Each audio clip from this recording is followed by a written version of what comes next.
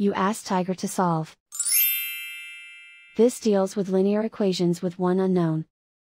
The final result is a equals 10. Let's solve it step by step. Group all constants on the right side of the equation. Add 5 to both sides. Simplify the arithmetic.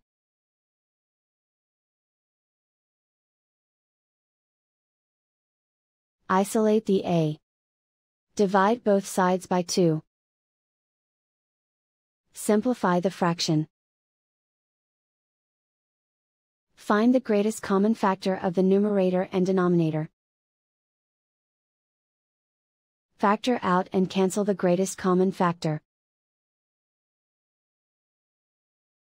And so the final result is a equals 10.